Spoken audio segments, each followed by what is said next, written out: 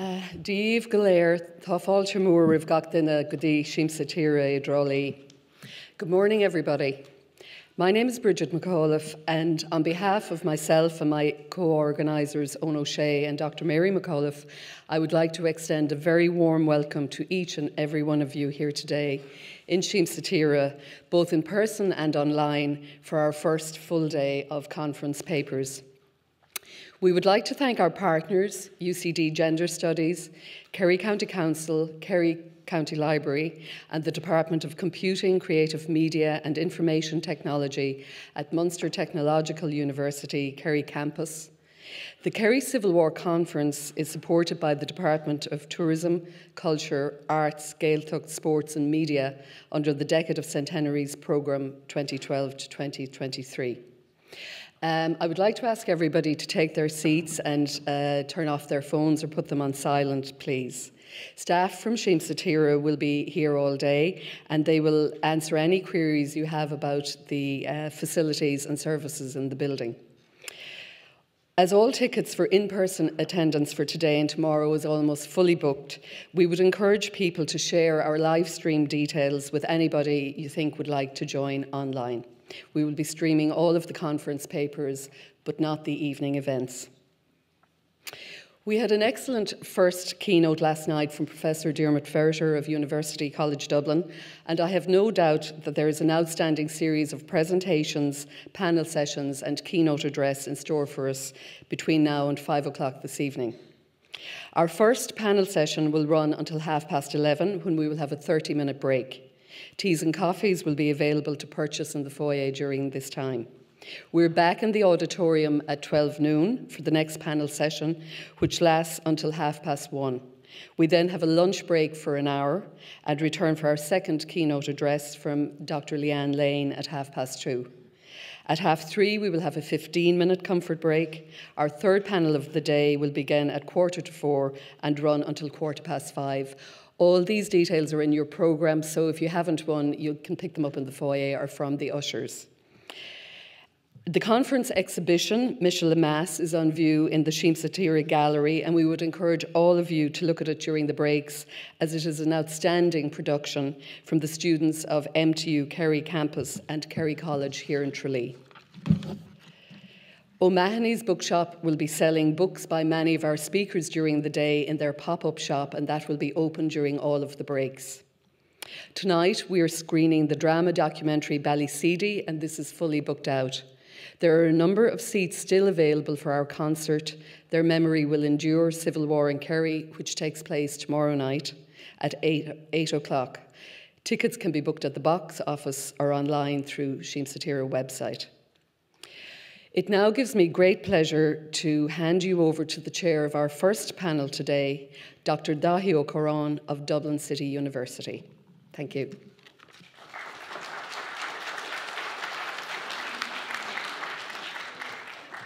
Thanks, Bridget, and uh, good morning, everyone. You're very welcome to our first panel, and it's a great pleasure for me to chair that panel. Um, the title of the panel is Civil War in Ireland. We have three uh, excellent uh, speakers who are going to give us very thought provoking uh, papers. The first speaker is Liz Gillis. Liz needs no introduction. Uh, Liz is from the Liberties. She is the author of six books on the Irish Revolution including Women of the Revolution, and more recently, the Hales Brothers and the Irish Revolution. Liz uh, lectures at Camplin College in Dublin and is the South uh, Dublin County Council uh, historian in residence for the decade of centenaries. The title of Liz's paper this morning is Easter Week Repeats Itself The Battle for Dublin, June July 1922.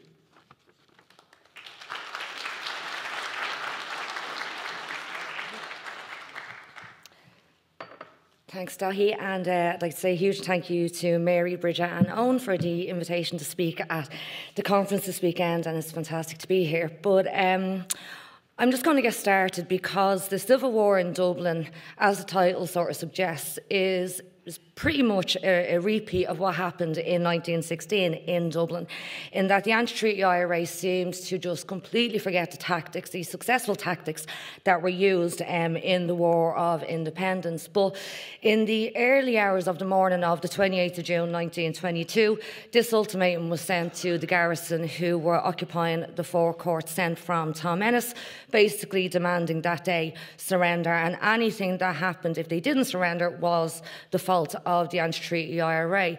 There was no response to this ultimatum. And at seven minutes past four on the morning of the 28th of June 1922, the bombardment of the four courts began. And the people of Dublin, the people of Ireland woke up to read of this news in the newspapers, and in this case, the evening newspapers. The Civil War had officially begun with this bombardment.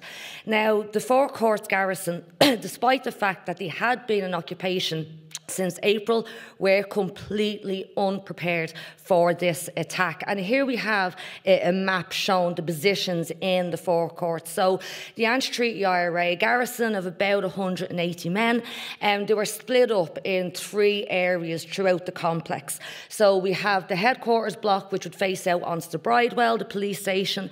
Um, you have the four courts, the main dome area facing out onto the Liffey. There would be a few people there. But the most important area, the most important building was the Public Records Office, the area that we see circled. Now, sadly, um, in that building where we had housed all these precious, priceless documents um, were the orderlies. Um, the orderly section was made up of members of Na Fianna, who were the youngest members of the garrison. And this was something that Sean Lemass had a huge problem with because it was the most dangerous part of the complex, because that is also where the munitions factory was. And Sean Lemass was pushing throughout the bombardment to get the orderlies out of there because they were the youngest and they were the most inexperienced experienced, but that did not um, to come to fruition. And here we have a list of some of the members of the orderly section that were based in the Public Records Office. But to go back to the, the surprise that the, the garrison itself felt, how unprepared they were when the attack actually came, we have it from the words of those who are actually in there. And Ernie O'Malley sums it up very well, where he said, communications between the blocks was in the open, the dome area was cut off from the headquarters block, the latter from the records office. The space was covered with rifle and machine gun fire. One man was hit as he crossed behind me. Paddy O'Brien, who was actually the commanding officer, of the Four Courts garrison, and I found men to work in a sandbag barricade, but there were not enough bags to make a covered bulletproof passage between the blocks. So when they had occupied the building, they began to barricade it, but then it stopped. And there's amazing photographs of the garrison where they're posing on top of the roof, um, they're posing with the armoured car that they had taken. There is not a garrison that is preparing for war, and when the attack actually happens, as we can see from a O'Malley's statement, they are completely unprepared. They are erecting barricades as the bombardment is taking place. But this surprise, it was not just felt by the garrison in the Four Courts, because while the Four Courts had been occupied, you also had other buildings occupied around Dublin City by the anti-treaty IRA, including Barry's Hotel and Gardiner's Row. the occupied Kilmainham Jail at one stage. But word had been sent on the eve of the attack that an attack was going to happen. So pretty much the entire of the anti-treaty Dublin Brigade of the IRA were mobilised. And Sean Prendergast is one of those who, when word comes true, was at the La Scala Theatre with his friends. And as he says, what a rude awakening indeed. One moment we were in the height of merriment, the next we were plunged into the infernal affairs of an armed enterprise, mobilised the men, every man to his lot a task. Soon the clarion call was brought to the four quarters of the city wherever our men lived, arranging the dispatch of all our warlike materials to the selected rendezvous. No more bewildered and inquisitive party paraded in the hall that night than ours on that fateful June night as they arrived in ones and twos to give effect to the orders they had received. So everyone, it seems, is completely surprised that the war has actually broken out. But the bombardment of the Four Courts, it lasted for three days. And we have from this account by Simon Donnelly, who again is actually in the Four Courts, he's on the ground. And he sums up what was happening inside. And when we look at the attack on the Four Courts and we see all those photographs, we know that the 18 pounders were used against the Four Courts garrison, but generally we only see two. Three guns were actually in, in the attack or used in the attack against the Four Courts. And what Simon Donnelly says, early on Friday morning, enemy launched a very heavy artillery attack on three posts of the building, supported by all other arms. One gun was moved up to Wine Tavern Street Bridge. Another was planted at Green Street at the rear of the courts, and a sword gun played from the direction of Bridge Street. The bombardment continued for many hours. About 11am, incendiary bombs thrown into the GHQ block in which the chemical shop took fire owing to the inflammable substances in the building. Orders were issued to all men to retire to the other side of the court, that is the portion next to the quay. They got over by means of a tunnel which had been dug under the road. Myself and Father Dominic were the last to leave it. Shortly after GHQ block had been cleared, a terrific explosion occurred which shook the building to its foundations. A large quantity of explosives, some say as much as two tons, was exploded by the fire, and roofs, windows, walls were falling in all directions. So, this is the force of two massive explosions that were to rock through the Four Courts. Now, while we have this attack from Simon Donnelly, we are very lucky to have an account from a Free State soldier who was involved, who was actually leading the attack on the Four Court and is caught up in that explosion, and is Pádraig O'Connor, a member of the 4th Battalion of the Dublin Brigade of the IRA, who went pro-treaty. And what he said, in a short time it was observed that the block I was about to attack was on fire and that the fire was rapidly spreading. I received in return an order to attack immediately. I stood for a moment to give orders to the sergeant standing just inside the door. The block was blazing fiercely, the flames reeling across 25 to 35 yard gap that separated us. The heat inside the records office was unbearable. I had only started to instruct the sergeant when an immense explosion rocked the building. The building shook and the men were lifted off their feet and sent spinning around. This I could sense and see as I was propelled skyward with the sergeant. When I recovered and scrambled to my feet, the world was blacked out. I called out in order to evacuate the building. I was appalled as my men staggered out, blinded with dust and smoke, and in many cases covered in blood from cuts received from glass. Now, miraculously, um, no one was killed in this explosion, and we've seen the photographs of that massive explosion in the records office. But you can see that they were actually in the complex before the records office did explode. Um, shortly after that, we do have the second explosion. Um, there had been calls to surrender unconditionally, the garrison would not, but after this second explosion, there was no option, and the garrison did surrender. They were marched out to the banks of the Liffey, they were taken prisoner um, to Jameson Distillery in Smithfield, and then later transported um, to Mountjoy Jail. Um, and you would think that that was the battle for Dublin over, but it wasn't because the Four Courts is one of many buildings that were occupied by the anti-treaty IRA. And focus next, next shifted to what became known as the block, that series of buildings at the top of O'Connell Street um, on the eastern side of O'Connell Street that the anti-treaty IRA under the command of Cathal Brugha had occupied and tunnelled through to literally make a massive fortress and it's literally that entire block of buildings. But in this um, documents, or these documents, we can see the other buildings that the anti-treaty IRA occupied throughout Dublin City. Um, they had buildings in Granby Row, in Dorset Street, they had them in Aungier Street, um, you have the Swan Hotel there. It is all over Dublin. But what the National Army, the pro treaty forces, decided to do was exactly what the British seemed to do in 1916 and was to focus their concentration on the block, having encircling movements. So, by one position by one position, they would isolate the block, completely encircle it until it was just completely surrounded. There would be no way out. And that is exactly what happens. And we see that happening in the first instance with the hotels, Moran's Hotel and Hughes Hotel in Gardiner Street, which had been occupied by the anti-treaty IRA. You have a train being brought up uh, to basically get into position at the Loop Line Bridge that was overlooking the position, and from there the National Army bombarded the hotels. So you can see over the coming days, one by one, the anti-treaty IRA positions fall until it is just a focus on the block. And what we see in use in the block is the 18 pounder guns. They are the armoured cars. And the 18 pounder gun is put in position at Nelson's Pillar under the protection of the armoured cars. And it was very vicious fighting that happened in O'Connell Street, despite it being such a restricted area.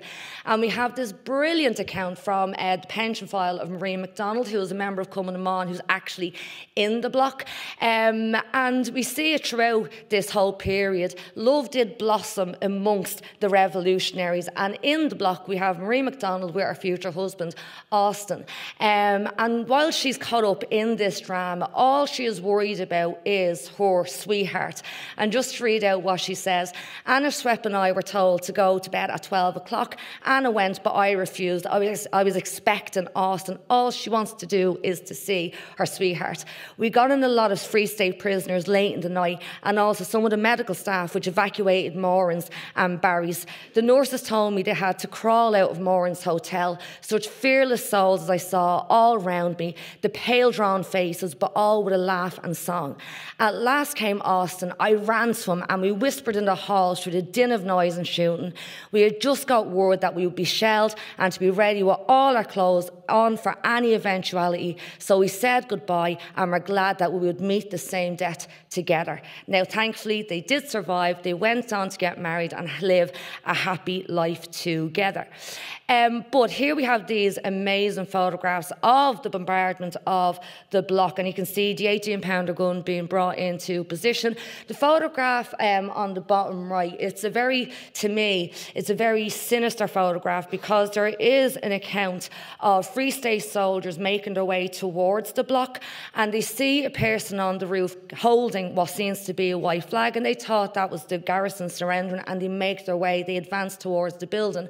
But all of a sudden, the group are fired upon they weren't actually surrendering. They were trying to let the soldiers know that the ground floor of the building was mined. Um, and just looking at that photograph, you just wonder is that moments before that event happened? When was that photograph taken? But it is a very eerie photograph. But just like at the Four Courts, the bombardment, it continued. And you can see here the destruction. Literally, each building falls. They become untenable until finally you have a small garrison under the control of Cathal Brugha left in the Granville Hotel. Now, you had had 70 men uh, upwards of 30 women in the block at the beginning of the fight. But Cathal Brugha, he tells his garrison to leave, and you have just a small group left. Now, the National Army had gotten so close to the block, they were actually in Thomas's Lane behind the block. So you come out the door of any of those buildings, you are right in uh, the, the, the, basically the presence of the National Army. And the small garrison, they leave. The National Army are in the laneway. There are calls for Brugha. Where is Brugha? And then Cathal Brugha emerges. Um, he was called on to surrender. Um, the soldiers were ordered to fire, but they were ordered to aim low so as to wound, not to kill. But unfortunately, one bullet was all it took to take down Cathal Brugha. Um, his femoral artery was severed, and what British bullets and grenades could not do in 1916, it took one bullet fired by a fellow Irishman to kill Cathal Brugha. Now, Linda Kearns, who was there, she was anti-treaty, uh, part of the anti-treaty garrison. Um, she accompanied Brugha to the Mater Hospital, and it, there were signs that he was going to improve. Um, his condition was improving, but sadly, um, he succumbed to his wounds and on the 7th of July, Cathal Brugha died. Now, with that one shot, in Thomas Lane, the battle for Dublin was over. However, as you can see from these newspaper accounts, the fighting in Dublin was to continue right throughout the Civil War, even beyond the Civil War. And we have here, it's not the conventional war like we see at the start in Dublin. We have reprisals taking, uh, taking place. There are murder gangs operating in Dublin. And unfortunately, you have headlines like this every day, it seems, right throughout the period in Dublin of the Civil War. Um, but I can't end on that story. Um, this weekend is going to be very intense, and this is a very intense, tragic, sad period. I am going to end on a happy story. I don't think there'll be many of them um, in this conference. Um, and it's this story of a couple who got married on the very day, the same day that the Civil War began. And it was this young couple, Henry Cecil Barnardo and Helen Josephine MacDonald, who had had their own personal battles to get to this day. Um, they were married in uh, St Andrew's Church on Suffolk Street, and they were caught up in the Civil War because while the couple were in the church getting married, their wedding cars were stolen, most likely by the anti treaty IRA because their publicity department was just a couple of doors down. Now, if you look at Henry Cecil and Helen Josephine, oh my God, it's a brilliant story. Um, so he was the son of Barnardo's Furriers, which is still in operation today at the bottom of Grafton Street. And Helen worked in the shop and they fell in love. But his parents, his father in particular, believed that Helen was below um, Henry. She was not good enough for him. But to get the two of them or to break them up, they actually sent Henry to Canada, where he became a lumberjack. And he was there for years. But when his father died, he inherited the family business, so returned to Dublin. And as it turned out, their love hadn't waned and they rekindled their romance. And then they got engaged and they set the date for the 28th of June, 1922 to an anniversary they would never ever forget. But it made the newspapers, and we can see here um, Henry's reaction, where it says two motor cars were taken outside St Andrew's Church, St Andrew Street, Dublin, while the marriage was going on between Mr. Wilfred Barnardo, they got the name wrong, and Mrs. Peggy, the two names wrong, MacDonald.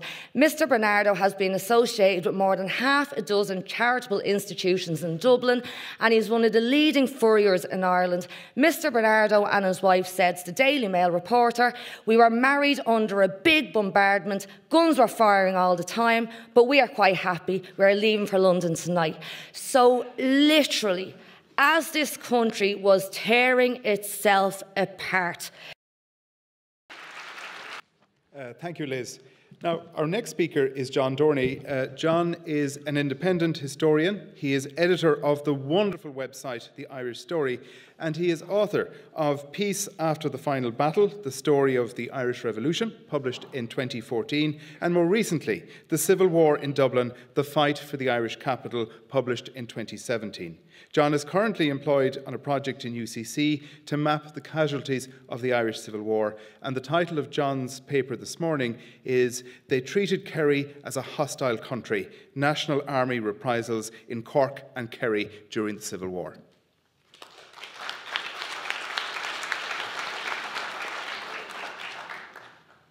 No, thanks very much, Daithí. Uh, ah, there's my talk. So, time is brief, and I have to, I have to move fast. But I'm going to be talking about the most controversial aspects of the Civil War, and uh, probably the reason why we've such interest in our conference here today, and that's reprisals. Now, my brief is to talk about National Army reprisals. So that will be the focus, not because of bias or prejudice, but because that is the brief. The subtitle I have here is treating Kerry like a hostile country, which is a quote from John Joe Rice, as we'll see, the commander of Kerry Number 2 Brigade.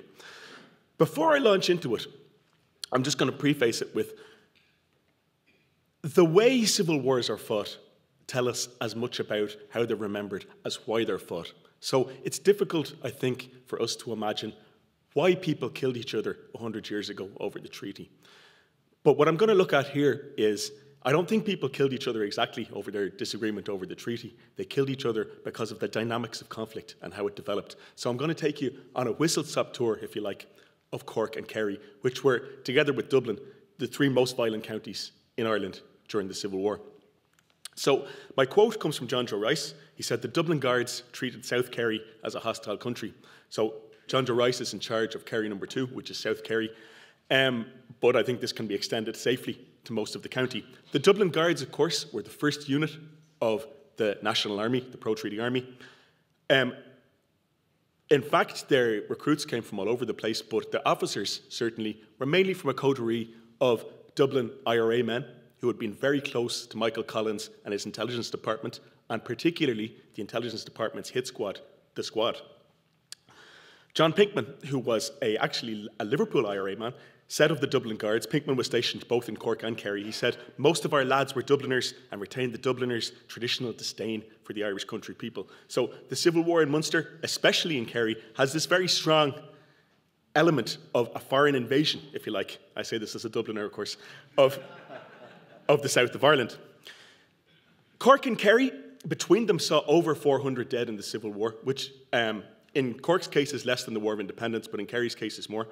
Um, it sometimes overlaps. So in Ireland, we're very conditioned to think of counties as discrete units, but in fact, you see a lot of overlap. You see Cork and Kerry units crossing over the county border, helping each other in terms of the IRA. You see them sharing ammunition and rifles and so on. Um, you see, you have two separate commands of the National Army in Cork and Kerry after they land, but actually they also help each other. However, Cork and Kerry's experience of the Civil War is nevertheless different. Okay, in short, it's much more bitter, especially the memory of the Civil War is much more bitter in Kerry. Now, in fact, slightly more people were killed in Cork, as far as we've determined, than in Kerry, but the character and the memory of the Civil War in Kerry is much more intense. So, why was this? Well, first of all, the geography of the Civil War, you can see here, this is a map of pro and anti treaty units of the IRA in the treaty split. And with the exception of the North, which is, of course, a separate category, it does tell you a lot about how the Civil War worked out. So the dark green is anti treaty. And this is more or less where the Civil War is intense. So we see the first and second Southern divisions. First and second is, is down here. Uh, sorry, first is down here. Second is kind of Tipperary region. Uh, third Eastern, at the little corner in, in, Wexford, is again very active in the Civil War, much more than in the War of Independence. Uh, second Eastern is Dublin and also in the West. And this is basically where the Civil War is fought. I haven't done the exact calculations, as Daithí said. I'm working on a project to map the casualties of the Civil War, but I had a guess, I would say those dark green areas are where 90% of Civil War casualties occurred. Now, the Civil War is brought to South Munster in August of 1922. So in July 1922, units from Cork and Kerry are up mostly at that yellow line there. They're trying to defend what's known in the press uh, so Jerry Shannon, my friend who's here today, will tell you there's no such thing as the Munster Republic, but the press nicknamed it the Munster Republic. They're trying to hold this line. They're outflanked by seaborne landings in Cork and Kerry. So the landing is at Fenit here in Tralee, or sorry, here in Kerry near Tralee, and they march to Tralee. There's three landings on the Cork coast, you can see there. Now it's a very complicated map. There's a lot going on, but what I want you to focus on here is, you see the mountains. The mountains are helpfully outlined for us today in this map. The mountains and the geography play a big role. So West Cork and Kerry is a stronghold for the anti-treatyites. They regroup there after the landings in Cork and Kerry. They're plentifully armed for several reasons, but they're much better armed than they were before the truce. And it's in this part of Ireland where the most determined resistance to the Free State occurs. So this is Free State or National Army troops clambering off the boat at Fenit.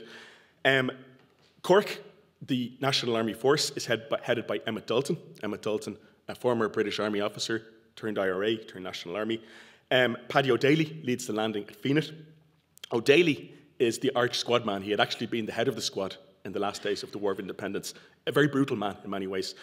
But contrary to the probably the stereotype of the Civil War in Kerry, it's not just a case of Dublin troops occupying Kerry, because a very, a very large element is also the 1st Western, which is commanded by a man called Hogan.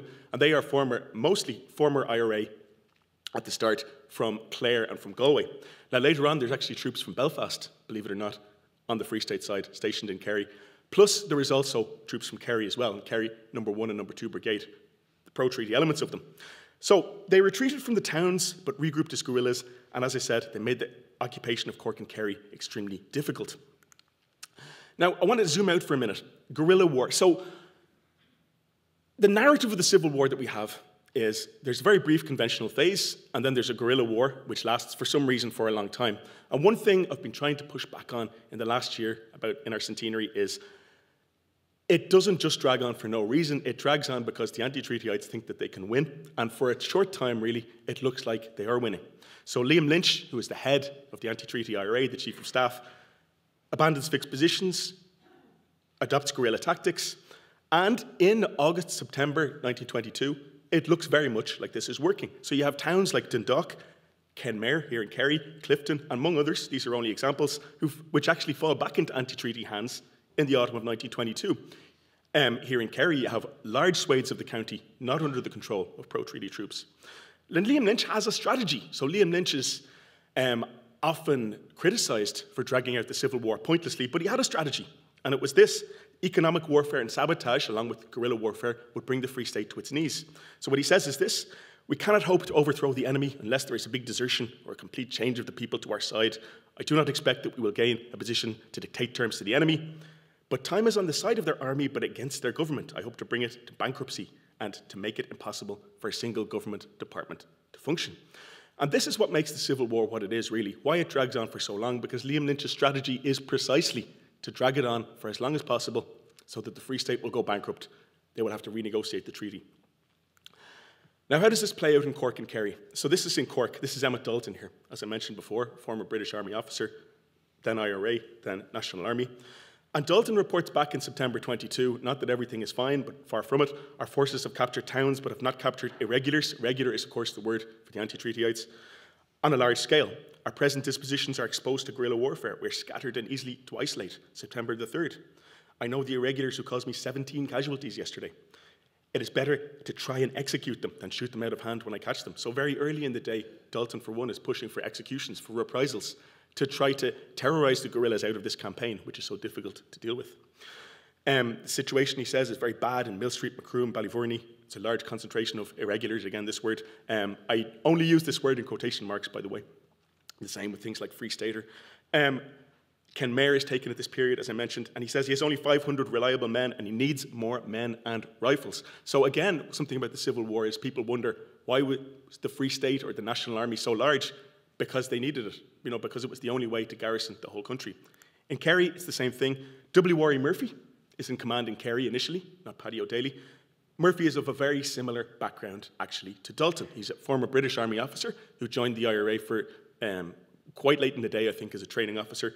Then was headhunted by Collins to officer the National Army because he had experience. And he reports something very similar to Dalton. He says there's constant ambushes and casualties, and we can do very little effective with our present numbers. We are fighting against very superior forces in a mostly hostile country. This is Kerry. Now, one thing just to flag quickly is not everybody in Kerry is actually anti-treaty, but the IRA there is mostly anti-treaty, and there is this very strong perception in Kerry that it's an outside invasion, I think. So Murphy says, I need 500 men immediately, and Oriel House detectives and armoured trucks and so on. And he says, we must show ourselves the top dogs to win the support of the population. Oriel House is the detective headquarters of the Free State, and the man he gets is David Nelligan, who will play a large part in our story. Theorists of civil war say it's a battle for control over civilians. Now, what the National Army generally says, this is taken from their reports, is that people support the anti treatyites because if they do, they don't have to pay taxes and they don't have to follow the laws in any way. This is what they say. So in Limerick, for example, owing to the state of lawlessness, they do not have to pay taxes. It's a mercenary motive. In Kerry, they say a large section of the peasant population will always follow the lead of anybody holding forth the prospect of evading their civic responsibilities. It's funny that doesn't get a laugh in Dublin, but there you go. they say the farmers shelter the irregulars not through love, but through fear of their own skins. When the dread of the irregulars is removed, the majority of country people will be with us. So that's what they think is going on. Now, in, especially in Cork and to some extent in Kerry, people are initially quite pleased to see the National Army because, you know, the anti-treatyites have been um, occupying the place. They'd been, you know, taking levies and so on. But this kind of quickly falls away because the National Army, especially down here in the south, tends to alienate people with their own behaviour. Now, for example, one of the things that you see in their reports is they, their idea of uh, patrolling is going out on a Sunday, surrounding the church at Mass time, and, you know, taking into custody all the men in the, in the church and then kind of beating some of them up and they do the same thing at the dances that night on Sunday. So they don't endear themselves to the population. Now, the one thing I will say, however, is that neither side really targets civilians that much in the Civil War, unlike the War of Independence, actually. So we see the figure there 13 informers killed in the Civil War versus 200 before the truce. Okay. Now, because this is the case, because in this period of the Civil War, the National Army is actually taking far more casualties than the anti-treaty IRA, what you start to see is reprisals. Now, this is to Fianna boys in Dublin. Liz mentioned this in her talk, but it's the nature of guerrilla war. The regular troops are exposed, if you like. They're taking more casualties. They view it as an unfair fight. Now, the other side possibly saw it the same way, but there's also this mutual incomprehension. So, a lot of the National Army soldiers, particularly the former IRA element, and this is interesting, they take it very personally. They say, We're the true soldiers of Ireland, we are the true IRA. These people attacking us are cowards. They're attacking us with ambushes, with mines, with bombs. We have no chance to defend ourselves. They're Trucileers. They joined the IRA during the truce. Now, this is not the case in many cases, but this is what they believe. And so they start to take revenge. Now, this is just some examples from the rest of the country before I launch into Cork and Kerry. Um, the Fianna in Dublin, the two leaders of the Fianna in Dublin, uh, Cole and Colley, they're laid out there, were shot in August 1922. The Red Cow murders, three more Fianna boys. Now, just I select them because they were particularly shocking examples. In Sligo, as Diarmaid Ferriter mentioned last night, um, the Noble Six, so called six anti treatyites, were killed up in Benbulben, probably after they surrendered. Now, in the whole of the Civil War, as far as we know, the figures are something like this there's around 130 anti treatyites killed when they're unarmed or prisoners, versus about 53 on the other side. So there is this feature of the Civil War where the National Army takes revenge because, essentially, I think, because more of them are getting killed in combat. Now, in Cork and Kerry, high profile losses of the National Army. Michael Collins, of course, on August 22nd, but also uh, Tom Keogh, a squad member who's blown up along with six soldiers near Macroom, a place called Carrigaphooca, September the 16th. Uh, Tom, Tom Keogh was on the top right hand side of the picture there. That's a picture of the squad in their IRA days. In Kerry, Captain Jim Burke, another ex IRA man, um, originally from Cork but with the 1st Western, killed in August. Two medics from the 1st Western, again, Clare and Galway soldiers, killed near Killarney. And local IRA men, pro treaty IRA men, the Scarteen O'Connor brothers from Kenmare, who were killed in their beds during an attack on Kenmare on September the 9th. Now, we have a total of around 100 National Army killed in action by the end of September 1922. So, this is ripe for reprisals. They feel that they're in a hostile country, they're being attacked by people who are cowards and not the true soldiers of Ireland and so on. So, this is what happens. This is some examples. This is the picture is Jack Galvin. It's the first monument to Ballyseedy you know, opposite the main one. So these are some high-profile cases. Timothy Kenefick in Cork. Um, it's reported in the IRA as a particularly brutal murder. So apparently they dragged him behind a, a car after arresting him. James Buckley shot in reprisal for the explosion that killed Tom Keogh and his, his body dumped in the mine. Three volunteers killed at Upton. Allegedly, this is Tom Barry's statement uh, on the orders of a National Army chaplain. Now, I, I, have no further evidence, but that's what Tom Barry says in the pensions. In Kerry, the first one that anti treatyites talk a lot about is a man called Moriarty in Tralee, who was killed apparently by Captain Murray of the Dublin Guard. 17 year old Bertie Murphy killed in reprisal for an ambush. John Galvin, the man in the picture, killed by 1st Western troops, the Clare and Galway troops at Ballyseedy. John Lawler, uh, given a summary court martial by Michael Hogan, again of 1st Western. Now, these are just, you know, it's, it's a sad litany, but these are representative examples. Now, the reaction, however, in Cork and Kerry among National Army troops is quite different. And this might start to tell us about why the memory of the Civil War in the two counties is so different. So in Cork, the locally recruited troops refused to go back out and control, patrol until the culprits for the killing of Ten- Kenefick and Buckley, who were Dublin troops, were sent away. And Emmett Dalton reports back the shooting of Buckley was the work of the squad. Now, I personally approve of the action, but he says the men in my command can look at scores of their companions being blown to atoms by a murderous trick without feeling annoyed, but when an enemy is found, they will mutiny if he's shot. So he says, it's better if you keep the squad out of my area. And the squad, member officers really, are indeed sent home to Dublin, where they get up to much the same thing. It didn't end reprisal killings in Cork, but it certainly put a lid on them. And Dalton himself, who, contrary to what he said afterwards, is actually quite bloodthirsty in the Civil War, I think, in terms of his, what he says anyway, is replaced by a local man, David Reynolds, in December 1922. Now, in Kerry, there is a very similar set of circumstances, but a very different response. So, Ned Horan, who was the leading pro treaty IRA man of Kerry Number 1 Brigade here in Tralee, North Kerry, he raised an uproar over the killing of John Galvin. And Horan said, I tried to preserve the honour of the National Army, but such incidents only serve to incite public opinion against the Army. And if we carried on, we would find ourselves in arms against a hostile population, such as existed against the Black and Tans. But W. Warry Murphy, his response is quite different from Emmett Dalton in the next county. He says Galvin was a scoundrel and a terror to the countryside. And he, was, he said of Horan that he would best be removed for his own safety. And he said, I will not sacrifice any officer or man from the First Western for his cheap heroics. So it's Horan who resigned, rather than the culprits for Galvin being moved out of the area. So this, I think, tells us a lot. So in Cork, a pattern of um, there, there is some degree of accountability, whereas in Kerry, you have a degree of impunity established here in September 1922. Now, zooming out again, you have executions, of course, formal executions, which are brought in in September 1922. So, in part, the response to a pleas from people like Dalton, but they begin in November 1922. There's 19 executed by the end of 1922. You see this anti treaty poster here 19 executed by the will of the people, and so on.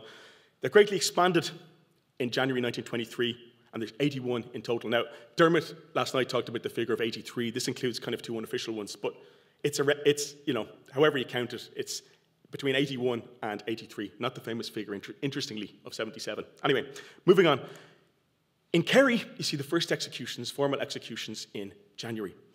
Now, W. Warry Murphy intended to execute four men in Tralee, but he backed down when Humphrey Murphy, who was the local commander of the IRA here in Kerry number one, said he would shoot eight pro-treaty supporters in retaliation. So you see here again the dynamics of civil war. They're not, you know, the viciousness isn't about the treaty, it's about who does what to whom. But Murphy backs down. Murphy, however, is replaced as the officer commanding in Kerry in December 22 by this man, Paddy O'Daly. And O'Daly is cut from a different cloth, as I said. He's an IRA man, wearing the juice. He'd been involved in a lot of bloodshed, you know, for Michael Collins. And his attitude is very much one for one. You know, if you kill one of ours, we'll kill one of yours. And so he has the first ones executed in January 1923. There's no real trial. Um, the legislation had been modified, so you only needed two signatures from an officer at this point. And O'Daly just radios Dublin saying if he could shoot these three who had derailed a railway car which, and causing the death of two railway drivers, he says, Will you sanction the death sentence? The feeling is very strong here for immediate action. Receives a message back, and they're just shot the next morning. So this is the, the monument here.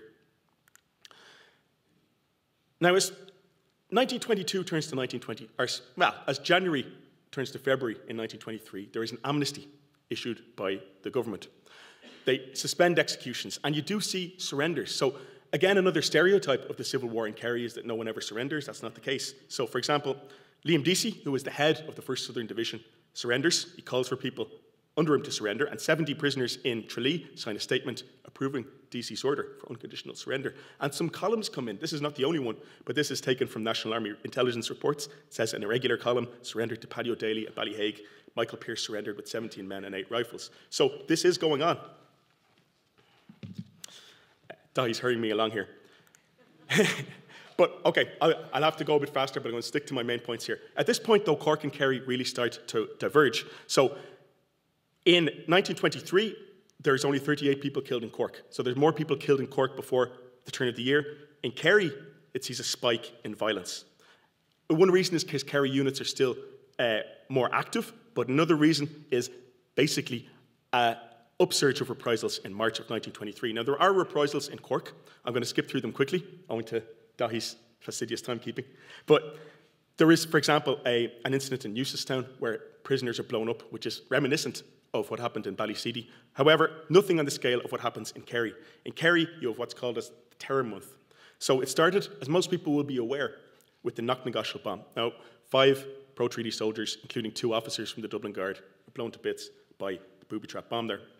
Paddy O'Daly says they're brilliant pre truce records. So, this is a classic case of the former IRA element, really, in the National Army taking revenge.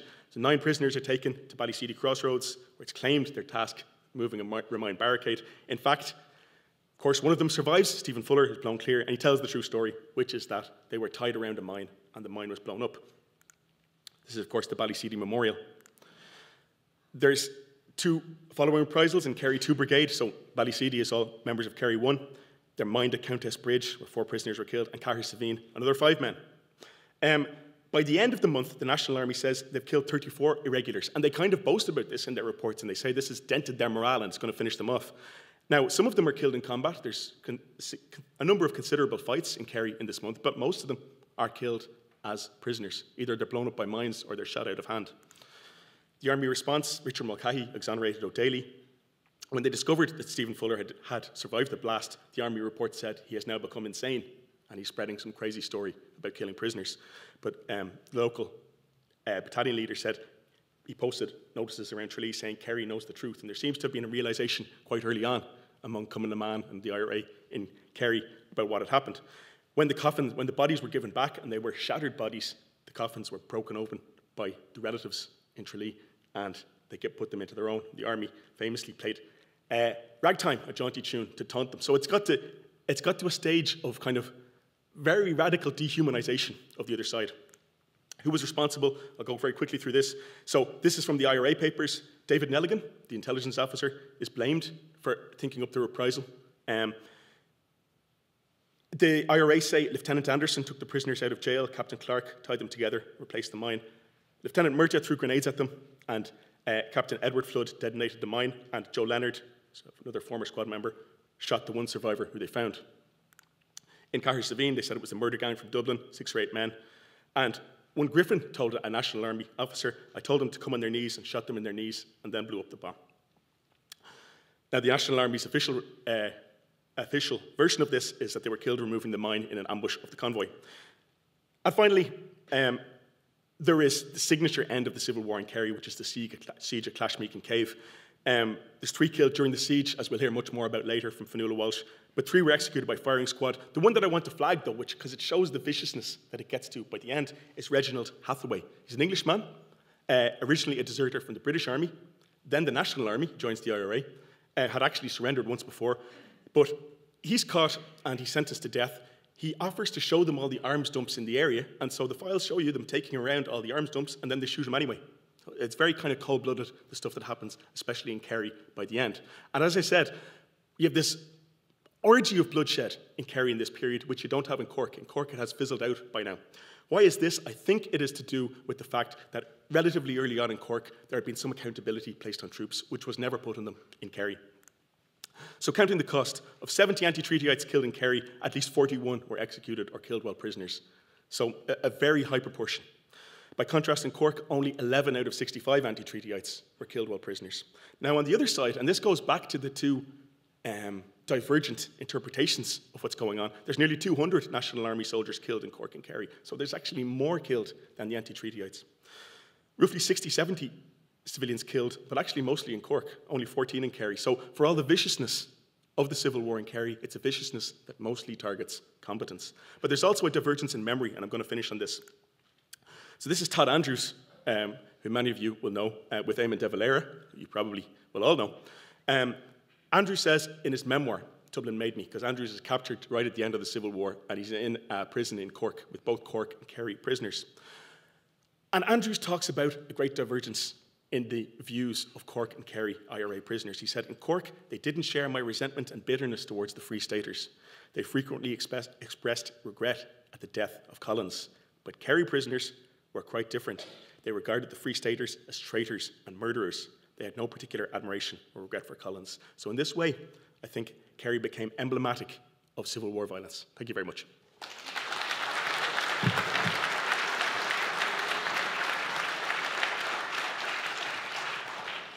Uh, thanks, John. Now, our final speaker in this panel is Thomas Earls Fitzgerald, who is a historian of modern Ireland. Thomas was awarded a PhD from Trinity College in 2018, which was supported by the Irish Research Council. Since then, he has held postdoctoral fellowships from Trinity and uh, the Ireland Canada University Foundation at Concordia in Montreal. His first book, Combatants and Civilians uh, and Revolutionary Ireland, 1918 to 23, uh, which focuses in particular on the experience of Kerry, was published uh, in 2021. Uh, it is widely available in the Kerry Library System, so I would urge you to go and borrow it. Uh, at present, Thomas holds Royal Irish Academy Decade of Centenaries bursary for research into political developments in Kerry in the post war period, and that's what he's going to talk to us about uh, this morning. The title of Thomas's paper is From bandits to government, the move from uh, insurrection to constitutionality by anti treaty Republicans.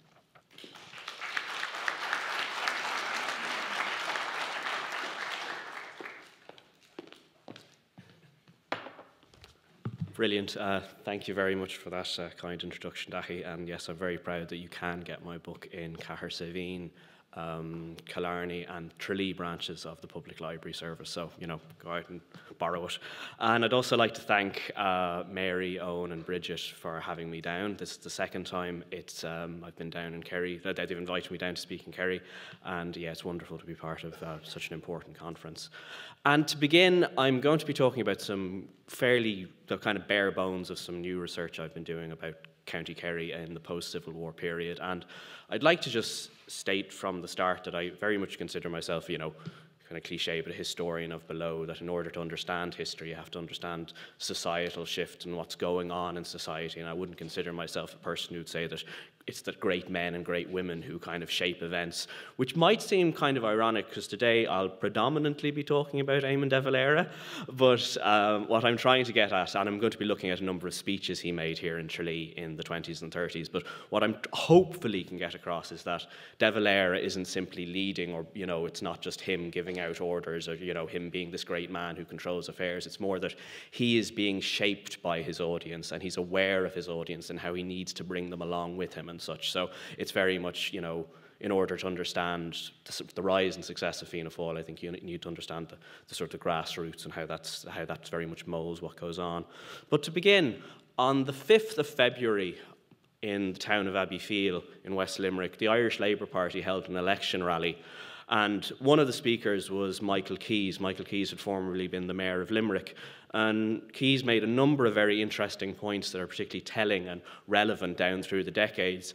And Keyes bemoaned the fact that it seemed to him that Irish politics was now seemingly defined by just these two big groups. You have Cumann Gael, soon to become Fine Gael on the one side, and Fianna Fáil on the other. And Keyes was frustrated because he said, well, the Fine Gael ticket is about good government responsibility and past achievement, whereas Fianna Fáil, where we're going to be all things to all people, which I think echoes true down through the decades in terms of the political culture of both parties.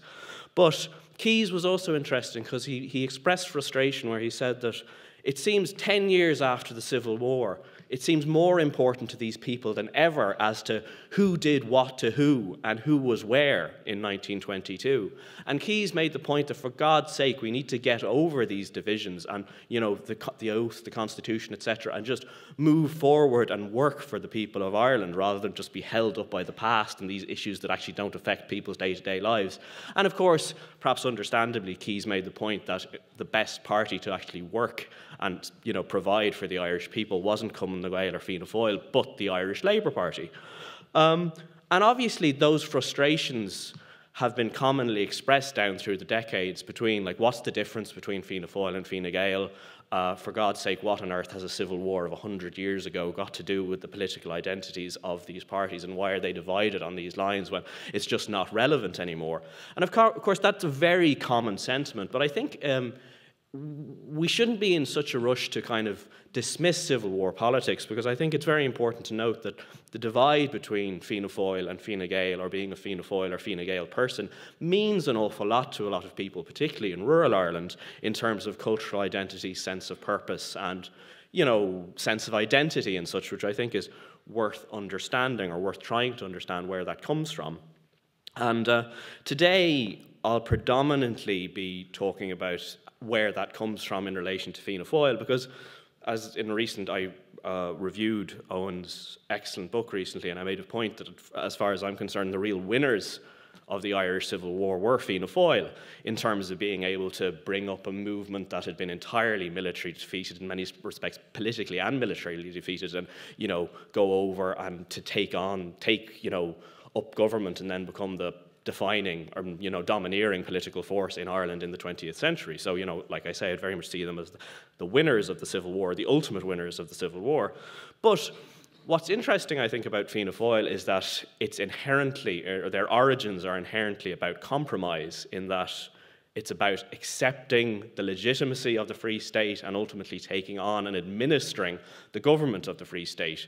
A government, of course, that 10 years previously their predecessors had fought so aggressively to prevent coming into being. So I think that is inherently, that compromise and, you know, giving up on certain principles is certainly um, essential to Fianna Fáil. And I'm going to be looking at that today in the context of County Kerry, because how does that actually come about? Because as John uh, so, you know, eloquently just informed us, the, the Civil War was fought very brutally here. And as Owen's recent book has shown as well, events like Ballyseedy, Countess Bridge, Cahersiveen, um, the tragic Kenmare case, um, and just this sort of culture of almost sadism and brutality existing amongst the Dublin Guards in Kerry. And also, this was coming on the back of what had happened between 1920 and 1921. And if there was one, well, obviously there's a lot of things I was trying to achieve in my book, but one thing I was trying to really just show is just how bad the violence of the Black and Tans and the auxiliaries was here in County Kerry, whether it was here in the siege of Tralee or the sack of Ballylongford, or also just that violence by the Black and Tans and auxiliaries was almost a daily occurrence here in County Kerry from 1920 to 1921. So by 1923, County Kerry has experienced a level of violence and brutality and cruelty and bitterness and such that counties in the southeast, Leinster, much of Connacht simply didn't experience. So County Kerry is very much uh, a place apart and such, and it obviously fosters and forges a very deep Republican identity and a very strong Republican politics emerge. So it's perhaps no surprise that outside of um, um, outside of De Valera's heartland of Kerry, of Clare, the highest uh, success rate for the Sinn Féin, the new Sinn Féin party in the 1923 election, was here in Kerry. And much of this is essentially driven by a feeling of the Free State is illegitimate. It's not the government of Ireland, it's a British puppet state, and we're not going to interact with it, and we're not going to play its game at all. And we completely reject it, and we still believe in the principles we fought for in the Civil War. And it's interesting, in fact, some of the kind of complicated machinations that result in the formation of Fianna Fáil actually have their origins here in Kerry, where the Cahersiveen branch of Sinn Féin make a public statement that they want all Sinn Féin TDs to make it very clear that even if the oath of allegiance is removed, that there is absolutely no way any of them will sit in the Dáil or enter the Free State Dáil, which I think is interesting. And then after the formation of Fianna Fáil, the Kerryman newspaper notes that the Killarney branch of Sinn Féin made it very clear that they were unhappy with the formation of Fianna Fáil. They didn't know what was happening. They regretted it. They were going to send people to Dublin to try and see what was going on. And ultimately, they hoped that um, you know, De Valera's people would come back into Sinn Féin in the old kind of umbrella organisation with the old same politics, no principles compromised. So you might think, therefore, that Fianna Fáil and Eamon De Valera, in many respects, have their work cut out for them in County Kerry, but it's very important that this new organisation brings along anti-treaty Kerry republicanism with it. And in De Valera's first speech he makes here in Tralee on the 15th of August 1926, he makes it clear that Fianna Fáil is a civil war party and that Fianna Fáil is essentially a continuation of the Civil War. So you see all these strands of continuity between 26, 27 and the earlier period. For instance, in his first speech, it's interesting to see who he's on sharing a stage with. He's sharing a stage with Humphrey Murphy, who, as John mentioned, was the OC of the Kerry Number One Brigade, and the Free State Forces very much felt that he was the man who was very much leading opposition to the Free State in Kerry. He's also joined by Tom McEllistrim, obviously went on to be a long-serving TD, McEllistrim had been the most effective flying column leader in the War of Independence. He was in the Civil War too. And he's also joined by a man the Kerryman described as P.P. Fitzgerald. I would take that to be, I'm willing to be corrected, but I imagine that's Paddy Paul Fitzgerald, who was a very influential and important figure within the IRA here in Tralee. So again, you have a sense of continuity with the old period, or with the Civil War and such. It's not a break. And then I think his language is very interesting because he's essentially saying that. Um, he describes Fáil almost as a new weapon in the battle for the Civil War, that this is the new tactic. And he talks about, you know, we, we, even before they enter the Dáil, he's saying, like, oh, well, we'll go there, and we, we're not going to go there to hobnob with the people, the people responsibility, the people responsible for Ballyseedy, but we're going to go there because it's the only place we can fight them, which I think is very interesting language. So it's like there's no break with the Civil War. He's trying to use language that makes his audience reassured that this is just a new element, a new battle of the Civil War almost. And there's other elements of continuity um, with the old period as well. Um, he says that there's absolutely nothing communistic about Fianna Fáil, which I still find ironic, the idea that anyone would consider Fianna Fáil to be in any way communist. But, um, and he says that, but we are interested in the working people and, you know, agricultural labourers and rural, rural labourers and such. And to do so isn't sectional. It's not we're working for one class. To care about the whole nation is that what we're about. We care for everyone because we are representative of the entire nation and such. And you might think that that somehow Sorry, I'm still getting over a bit of chest infection. Um, um, perhaps he's sort of like, he's aware that he's seemingly talking to a rural and conservative audience and such, but I don't necessarily think that's the case. In his private correspondence at this time, he's worried that Free State politics will you know, emerge between, you know, you would have Cumann na nGaedheal and the Farmers' Party representing the upwardly mobile and fairly wealthy people, and then you would have the Labour Party representing um, agricultural and rural labor, uh, agricultural labourers and the industrial working class and such. So a kind of clear, straight left-right divide, which seems perfectly sensible.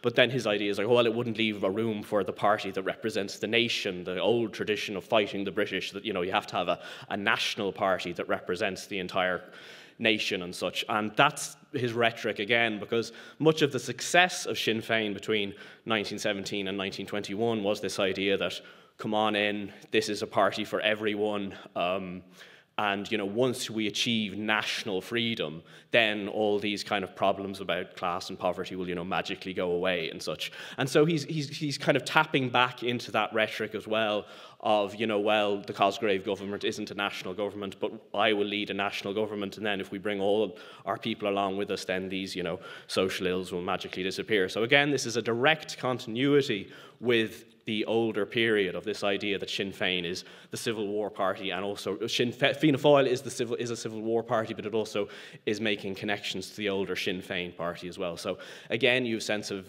continuity, but also in relation to the audience as well. It's about he wants the entire audience to come along with him, that everyone has a place here or something, as opposed to, you know, the only people who are seemingly being excluded are, you know, would be very strong Cumann na nGaedheal and Cosgrave supporters and such. So I think that 1926 speech is very interesting. It's very kind of gung ho, all guns blazing, Fianna Fáil is the new weapon in the Civil War and such.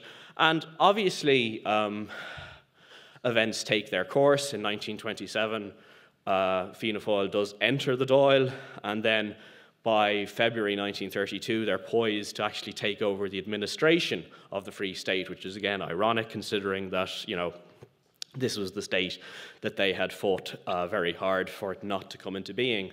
And obviously, when he next comes to Tralee in February 1932, his rhetoric isn't quite as gung ho as previously. So um, there's far more of an emphasis on bread and butter issues, the failures of the government, emigration, um, some of the still kind of like we're not communist stuff as well. But in 1926, there's this incredible focus on the Civil War, whereas obviously by 1932, it's 10 years later. Um, the emphasis there isn't quite as strong, of course. But he still mentions it, and he says that in 1922, the Cosgrave or the government then achieved power through a military, undemocratic military coup. That's the, how they achieved power was through a coup, and, and it was achieved through force. And then all of the subsequent um, coercion acts the government have in introduced is about maintaining their power through force. That this is a government that its entire its its power rests on military force in, in, terms of achieving and maintaining power, and therefore it is the government, but it's illegitimate and such. And I think most sensible people would argue that that actually isn't the case in terms of, you know, Cosgrave's government was legitimate and was democratically elected and such. But he is trying to, he's still the audience, he's aware of the anti treaty audience he has in front of him, and he's basically saying to them, Yes, you were right in 1922. You were right. We were fighting something that was unjust, and we're still fighting it now. So he's still very much aware of the audience and shaping his rhetoric to reflect the values and ideas of his audience.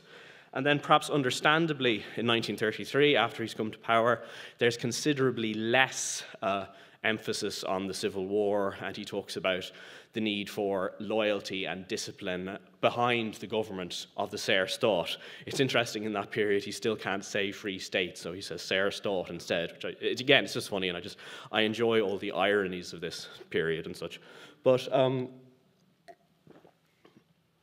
just to kind of wrap up and such, we can ask ourselves like, how do we understand this? On one hand the experience of county, the anti-treaty position and the anti-treaty side in the Civil War is crucial to Fianna Fáil's credibility in terms of maintaining its link with the Civil War, in terms of maintaining its anti treaty credentials and such, and having and being able to bring along the majority, not most of the anti treaty sentiment in uh, County Kerry shows that how reliant people like De Valera are on this part of the country and parts of the country that experience this. So, on one level, you might think he's kind of looking after, he's in the center looking after the periphery or something, but it's also, it's more like the periphery is controlling him and he needs the periphery, even though I'd be very uh, skeptical about that word periphery because, of course, I think most people in the audience would agree that County Kerry isn't the periphery, it is the center.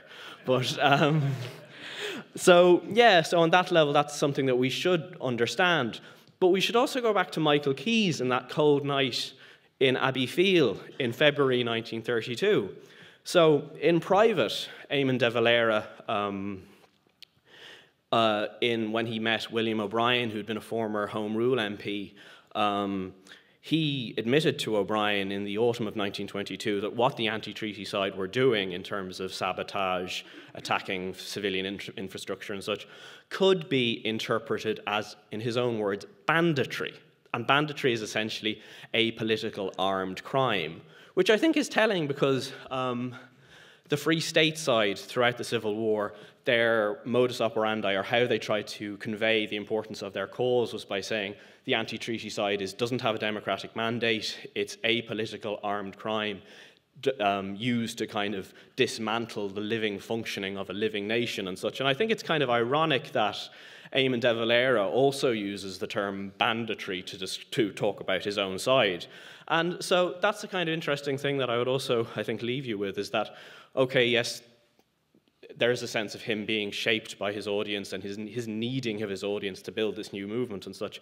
But is also, isn't it just cynical and exploitative in terms of um, essentially perpetuating divisions, uh, making the Civil War memory, not trying to heal divisions, but essentially perpetuate them and continue them to prevent any reconciliation? And ultimately, in some respects, you could argue that all of these Civil War divisions and how they were perpetuated and exploited essentially prevent the country from moving forward and prevent Ireland from having a better future. Thank you very much.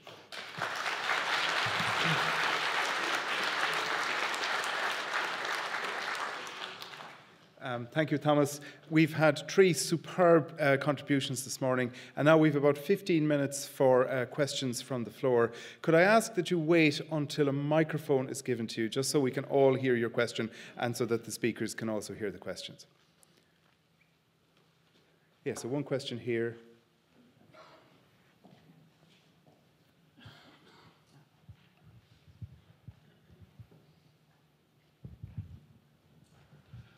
Hi, uh, Nola Mulhoof Irish.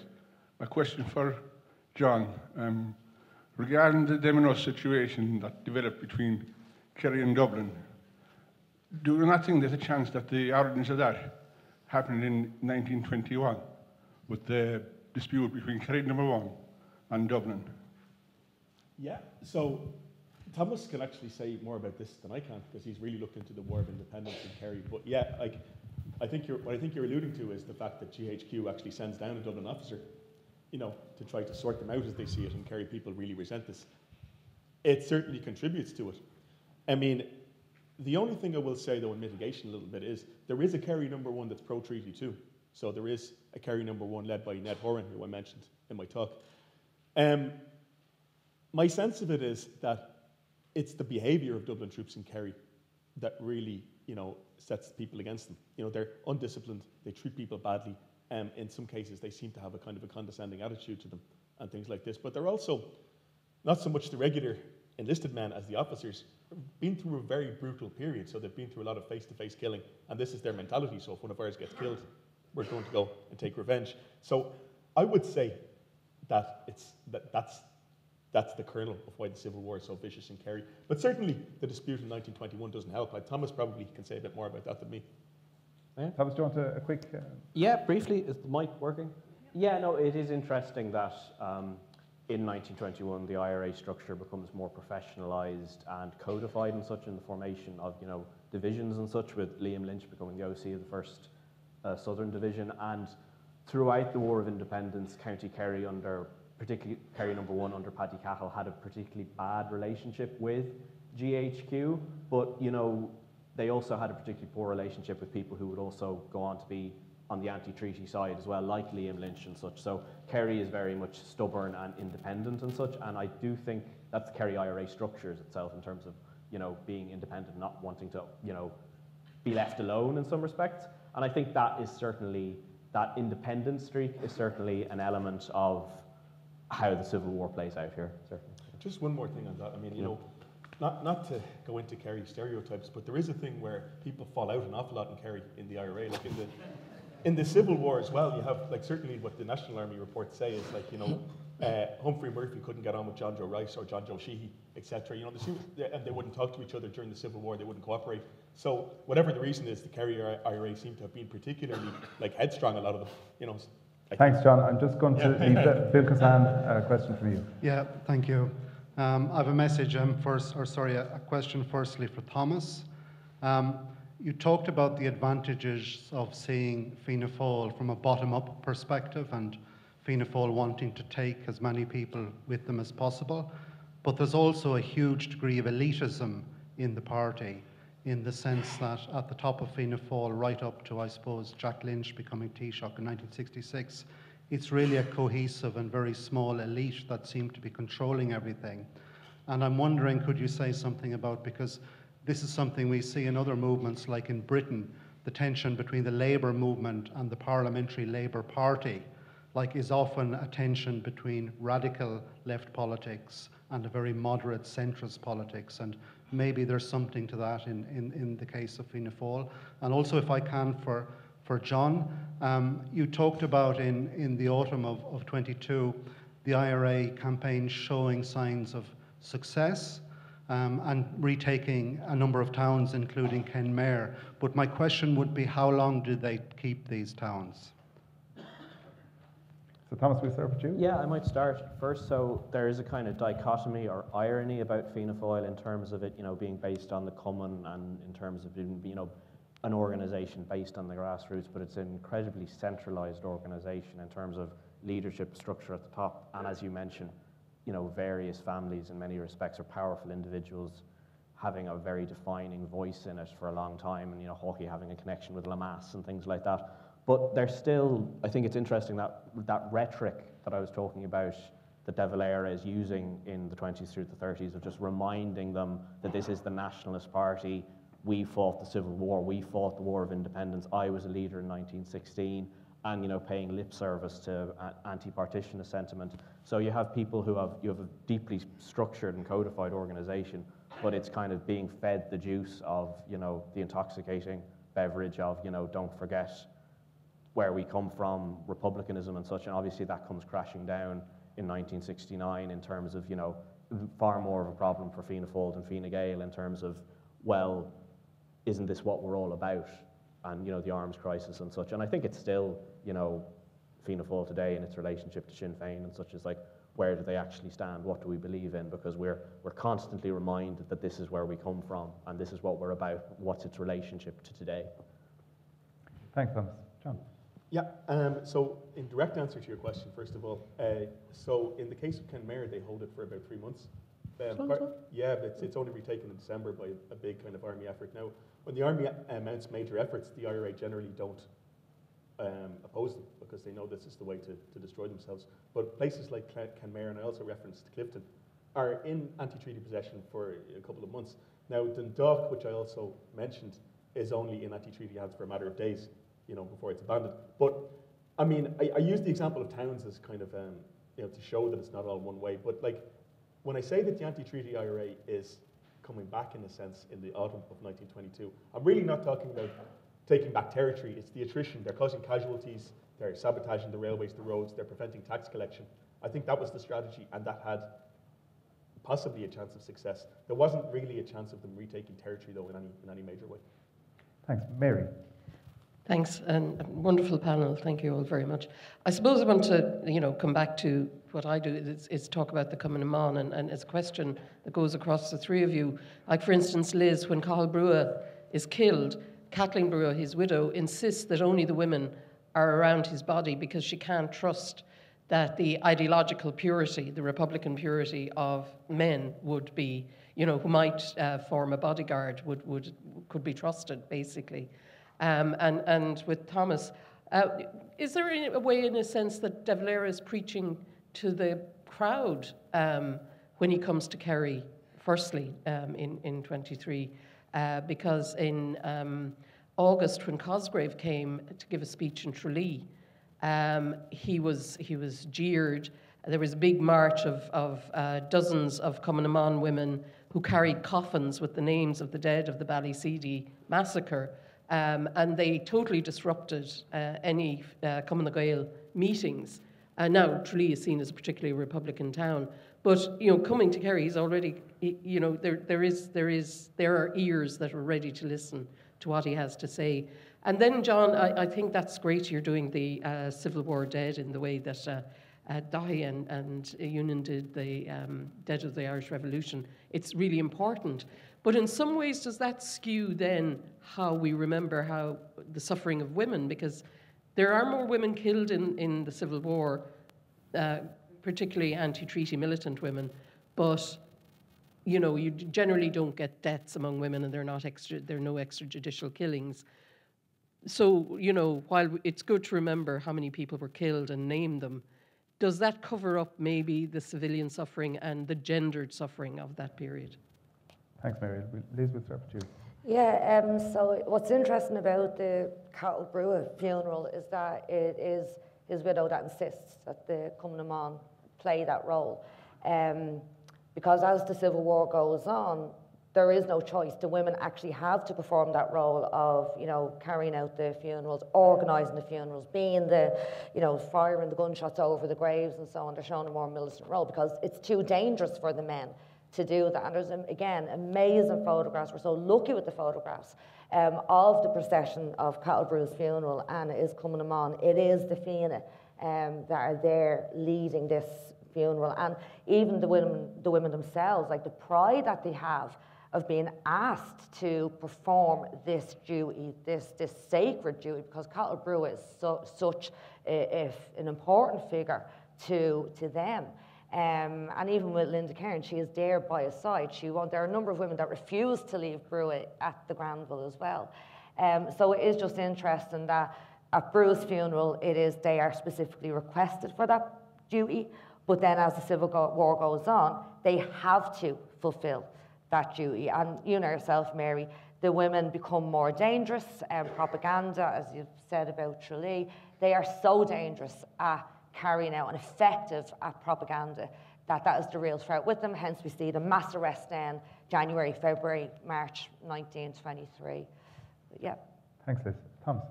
Yeah, thanks, Mary. Um, yeah, that's very interesting that like Cosgrave does receive a particularly poor welcome here in 1923. And then obviously, of course, in the early 1930s, like the worst clashes between the blue shirts and Fianna Fáil IRAs here in Tralee which is really brutal. You know, the town being almost ripped apart for a day and such. Um, so there is that sentiment, and I think in terms of you know producing you know a very core Republican vote, and also a kind of strong anti-free state vote that persists as well. I've always found it like interesting that for a long time Labour did a lot better here than Fine Gael, uh, but it's also you know obviously. But De Valera understands that you know he has willing ears, but he's also what I was trying to do is kind of subtly this front of, oh, we're the same as ever, but we're actually changing and we're actually going to take over the Free State. And the other thing, of course, is that there was a lot of people in Sinn Féin and the IRA who didn't go on with De Valera into Fianna Fáil, and that was particularly strong here in Tralee as well. Thanks, Thomas. John? Um, yeah, Mary, that's a very good point. I mean, so I would say that we need to count the casualties because we haven't done it. You know, but you're absolutely right. The civil war is not only about fatal violence. Um, there's also all other kinds of violence, and, it, you're right again in that it does skew the civil war towards a kind of masculine reading of it. You know, brother against brother and soldier against soldier. Now, in terms of fatal violence, that's largely true, more so than the War of Independence. But one thing that's very strong in the military papers, which I've, I've been looking at, is over and over again, especially in Kerry, but you can, you can trace it right throughout the country, the army says there would be no civil war if it wasn't for these crazy women who's Cumann na mBan. You know, they, they and it's like, you, you, see it once and you think, okay, that's an aberration or whatever, but they say it all the time. They say, because so essentially when, you're, when, we're, when we get to writing, I think, in, uh, a new history of the Civil War with all the new sources we have, you know, you're going to have to say that there was no anti-treaty campaign without Cumann na mBan. Cumann na mBan are central part of it. They're not just an auxiliary. And so in terms of violence, you're going to have to look at a whole load of other categories because generally, yeah, women aren't killed. And, and part of that is, is, people's ideas about masculinity and violence at the time. Um, but women do suffer a lot. They're, they're harassed, they're put in jail. And as, as you're examining yourself, Mary, sometimes they're subjected to, to sexual assault. So it's something we have to look into more. You're absolutely right. Civil war is not just about fatal violence. Thanks John. There's Uh, another question, row D. Um, just, just wait till we get the microphone to you. Thank you. Uh, yeah, um, I think if you look at the, um, like there's a perception often that the, of the, you know, that it was the military side of the conflict which dominates. Um, and and that, that narrative leads out, like Mary was saying, leads out a whole lot of other issues. And um, I mean, I would argue, for instance, in the War of Independence, um, at certain times the labour movement was leading the way and made the country ungovernable. I mean, the general strikes, the, the boycott, and so on. The question then is, like, I mean, if you focus on the IRA just, it's like an elite group of guerrillas leading the way on behalf of the rest of the population. So it leaves out then the, for instance, my, my, from my perspective, the working class. And what did they have to say? I mean, one question would be, what were the working class doing in the Civil War? Now, I mean, I'm not going to go on, there was various strikes or so, national strikes. But if you to look at it from the military side of view, they're not seen at all. So, I mean, the question then is that was there another way? And I think really it goes back to it really goes back to 1916 and the killing of uh, Connolly and Larkin was in America, so that you you didn't have what I would call a party that was going to challenge Sinn Féin. I mean, the Labour Party essentially didn't challenge Sinn Féin to the leadership of the national movement, and that spread into the Civil War then, and it basically became part of what it wanted, really, the leadership, was to be part of the establishment, and it got that to sort of de facto recognising the Republic. But the point I'm, I'm making, though, that um, if it wasn't for the um, that the only movement capable of bringing about a republic, and really a workers' republic, because that was the only way you'd get a difference, was, was the working class, was the working class movement. A guerrilla war, a guerrilla army could never do that. It simply couldn't do it on its own. Um, I mean, the railway boycott, for instance. Sorry, to give our speakers an opportunity to respond to you. Um, is any Go first. Tom, do you want to go first? Uh, yeah, no, I think that is the alternative history of the Civil War and the War of Independence that has been written out. In, in, for instance, the spring of 1922, this general strike against militarism, where the labour movement was saying that, well, we don't really just, we don't want the country to set these two small elitist military groups bringing the country in a direction we don't want it to be when we have people immigrating, we have people starving and such. And you do I think it's very interesting that up until 2011, the Labour Party had their best election in 1922, and I don't think, you know, and people who voted for the Labour Party or the Farmers Party was it was on the basis of we want an end to violence, we want stability, we want our interest to be looked after and represented in the Dáil.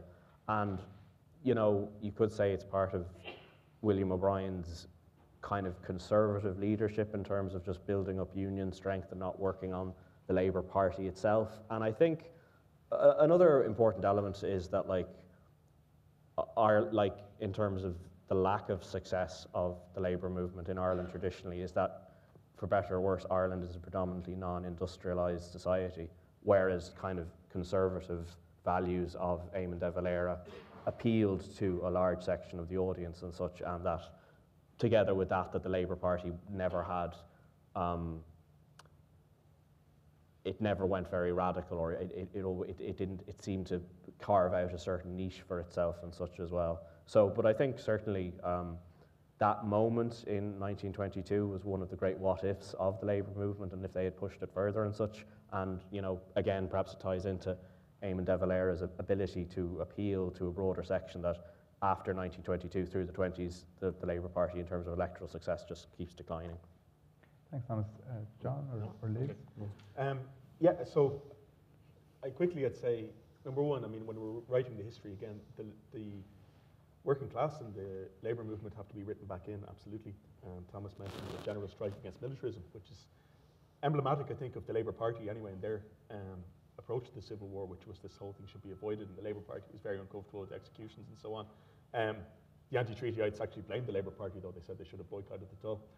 But in terms of the Workers' Republic, I mean, I, I would say two things. Number one,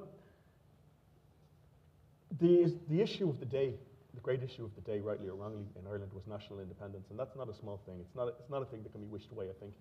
And secondly, so, the, so what I'm saying is, you know, the, I think it's a mistake to write over the politics of nationalists or Republicans of that era because, you know, it's, it's, that is the big issue of the day as far as the majority of people are concerned. Now, secondly, um, if we look at a workers' republic, what did that mean? You know, nobody had a clear idea of what that meant. Um, Fianna Fáil even sometimes used the, the phrase workers' republic in the election of, or proto-Fianna Fáil, the Sinn Féin party, in 1923. So I, I, kind of think the Workers' Republic is a dream. I don't think anything like that is possible in Ireland. Ireland doesn't have an industrial base, so you can't nationalise it because there's nothing there. Um, in terms of land distribution, a lot of that is actually done. So a lot of it is done, uh, first of all, by the Free State in 1923, uh, and later on by the Land Commission and so on. So uh, that would be my view. The labour movement has to be written back in, absolutely. There's a big strike wave right at the end of the Civil War and part of the army. It's used to put it down. It's a big part of the story. But I don't think that the labour movement is an alternative pole of you know, state formation. I just don't believe that's the case.